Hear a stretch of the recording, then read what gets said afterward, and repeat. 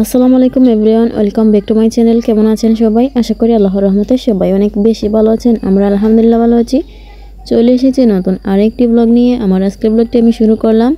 তো এদিকে মরিয়মকে পাঠিয়েছি। আমাদের টিনের মধ্যে উঠেছে উপরে। তো ওখান থেকে আর কি একটু ভিডিও করেছিল। তো এখানে দেখতে পাচ্ছেন, এই তো এই ছাদের মধ্যে একটা মরিচের গাছ রেখেছিল টপের মধ্যে। তো এই গাছের মধ্যে মরিচ পেকে গিয়েছে, আর এখন দেখা যায় আর মরিচ ধরছিল না। আর যে মরিচগুলো আছে সেগুলো একদম ছোটো ছোটো, আর দু তিনটা মরিচ ছিল, পেকে গিয়েছে। তো এখানে আসলো এগুলো নেওয়ার জন্য আর দেখার জন্য। আর সাথে দেখতে পাচ্ছেন পুঁইশাকের পাতা তুলে নিচ্ছিল। পুঁইশাকের কচি কচি যে ডগাগুলো আছে সেগুলো তুলে নিচ্ছিল আগাডুগা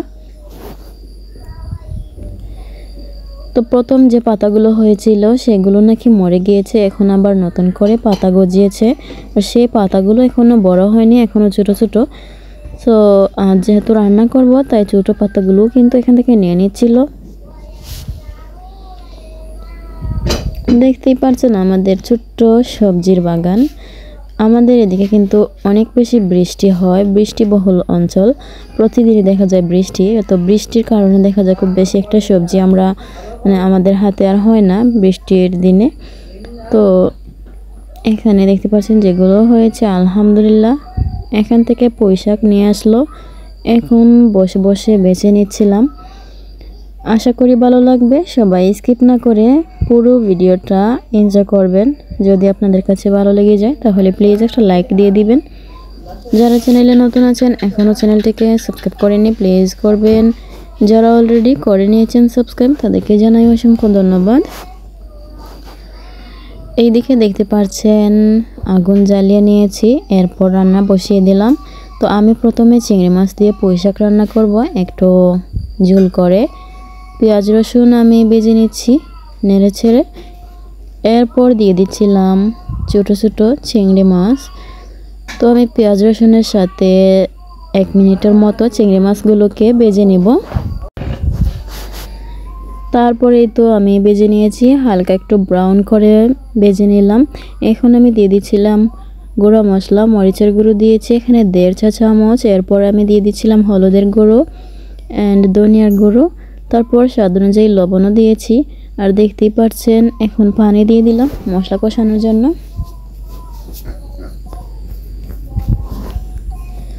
মশলা কষানো হয়ে গিয়েছে, চিংড়ি মাছও কিন্তু কষানো হয়ে গিয়েছে।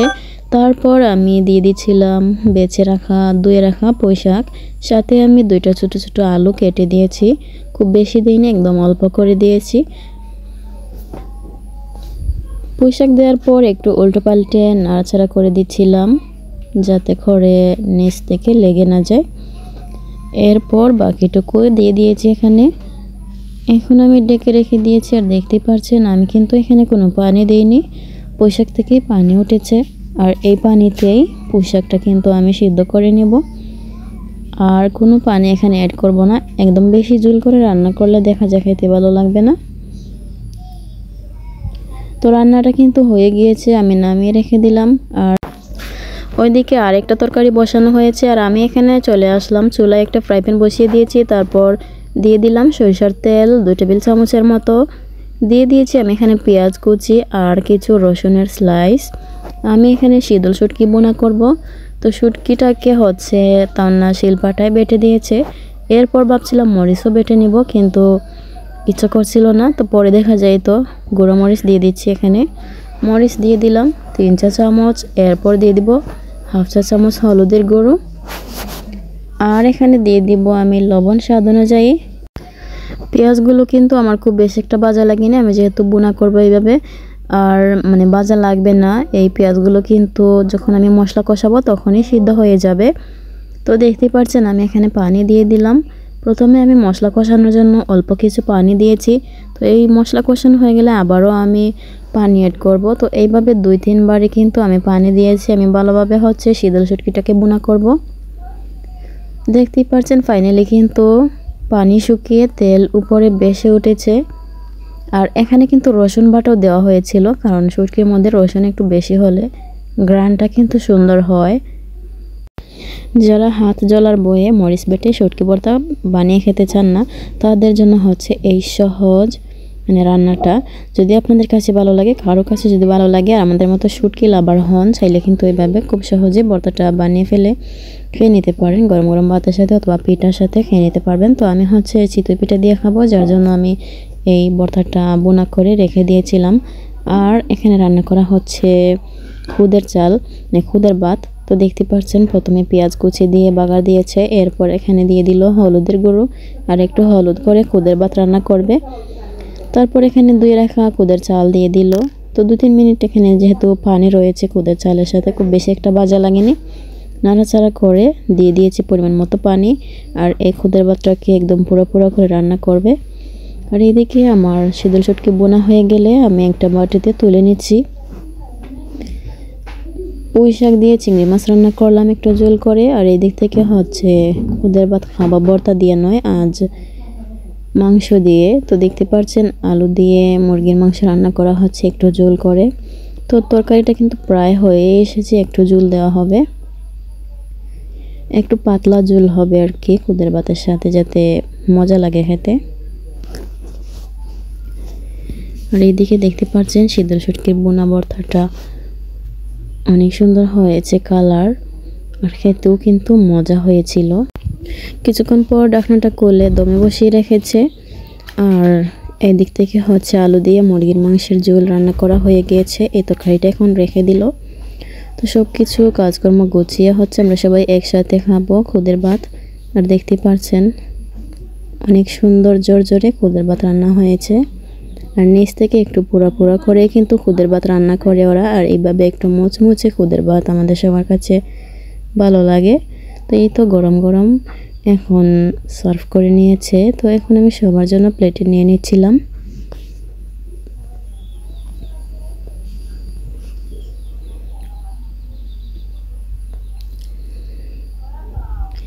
সবার জন্য প্লেটে নিয়ে এরপর হচ্ছে একসাথে সবাই বসে পড়ব। আর এখানে লেবু কাটা হয়েছে। দেখতেই পাচ্ছেন, আজ একটু অন্যভাবে আমরা খুদের ভাত খাব।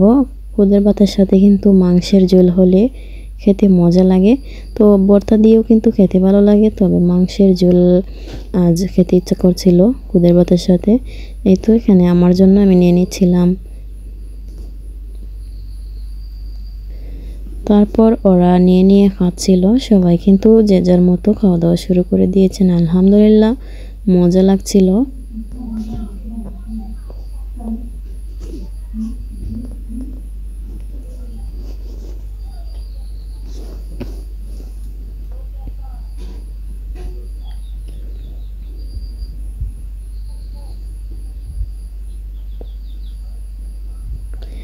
গরম গরম খাচ্ছিলাম যার জন্য আস্তে আস্তে খেতে হচ্ছে।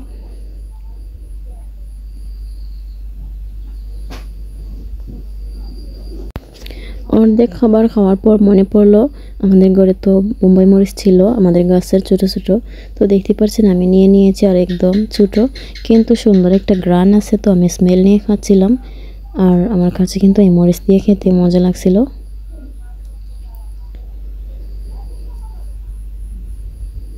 দুপুরে খাওয়া দাওয়া শেষ, বিকাল হয়ে গিয়েছে। দেখতে পাচ্ছেন আজ কিন্তু মানে টিপ টিপ করে বৃষ্টি পড়েছিল, তো পরে আবার বৃষ্টি থেমে গেছে, হালকা একটু বৃষ্টি এসেছিল। আর এদিকে যে দেখতেই পাচ্ছেন গরম পড়লে দেখা যায়, ও শুধু জুস খাবে জুস খাবে। তো এখানে ও দেখতে পাচ্ছেন বাজার থেকে ট্যাঙ্ক এনেছে, সাথে বসিয়ে এনেছে, একসাথে করে সুন্দর করে ঠান্ডা পানি দিয়ে গুলে নিয়েছে। তো এখন আমাদের সবাইকে দিচ্ছিল মুজাহিদ সবাইকে দিচ্ছিল আর কি। তো আমরা খেয়ে নিয়েছি ঠান্ডা ঠান্ডা অরেঞ্জ জুস এরপর এদিকে চলে আসলো, চিতই পিঠা তৈরি করবে। তমনা বলছিল আমাকে আমি যাতে মানে পানিটা ওকে দিয়ে দেই। তো এখানে দেখতে পাচ্ছেন আমি গরম পানি করে নিয়েছিলাম। একদম মানে ফুটন্ত গরম পানি নয়, আর একেবারে কুসুম গরম নয় মানে মাঝামাঝি আর কি পানি রেখেছি। তো এখন ঢেলে দিচ্ছিলাম আর ও হচ্ছে মাখিয়ে নিচ্ছে, এখানে পরিমাণ মতো লবণও দিয়েছে।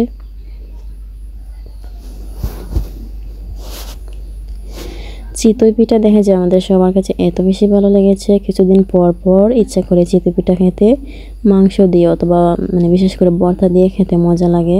তো দেখতে পাচ্ছেন, এখানে কিছুক্ষণ রেস্টে রেখেছিল। এরপর একটা একটা করে পিঠা বানিয়ে নিচ্ছিল।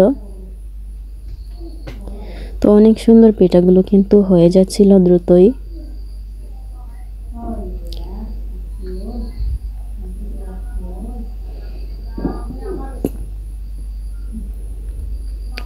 সবগুলো পিঠা একসাথে হওয়ার পর আমরা সবাই বসে খাব। আর যেহেতু খুব বেশি বানাই না, বানাইনি, অল্প করেই বানাচ্ছিল, তাই একসাথে বসে খেলে দেখা যায় মজা লাগবে। ফাইনালি দেখতে পাচ্ছেন বর্তাটা বের করে নিয়েছি। লাল লাল, জাল জাল বর্তা আর সেই সাথে চিতই পিঠা। তো দেখতে পাচ্ছেন ভিডিও শ্যুট করার আগেই কিন্তু আমি খাওয়া শুরু করে দিয়েছি। এরপর সবাই একসাথে বসে পড়লাম। তো এখানে দেখতে পাচ্ছেন, সবাই মিলে আমরা খাচ্ছি আর বর্তাটা কিন্তু আজ অনেক মজা লেগেছে।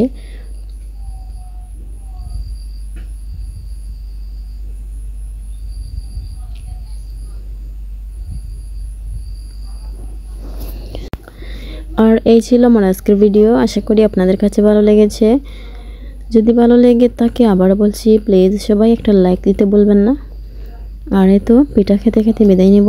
সবাই ভালো থাকবেন, সুস্থ থাকবেন। দেখা হবে একটি নতুন ভিডিওতে। ততক্ষণ পর্যন্ত আল্লাহ হাফেজ। আসসালামু আলাইকুম।